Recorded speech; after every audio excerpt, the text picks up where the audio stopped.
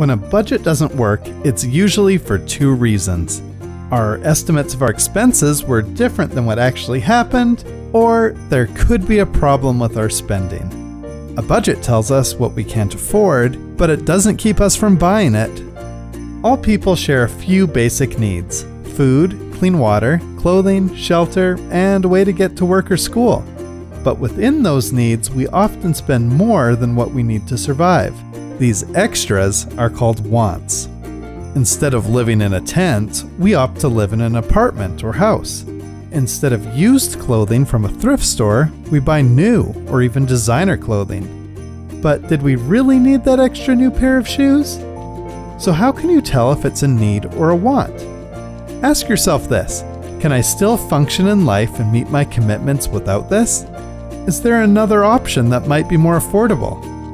But just because we can live without something doesn't mean we necessarily have to.